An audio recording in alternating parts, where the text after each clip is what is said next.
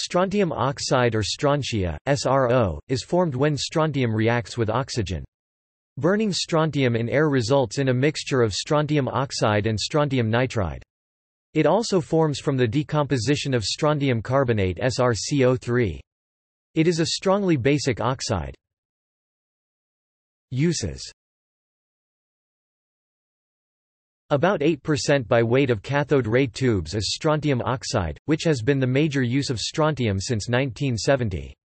Color televisions and other devices containing color cathode ray tubes sold in the United States are required by law to use strontium in the faceplate to block X-ray emission these X-ray emitting TVs are no longer in production. Lead oxide can be used in the neck and funnel, but causes discoloration when used in the faceplate. Reactions Elemental strontium is formed when strontium oxide is heated with aluminium in a vacuum. References External links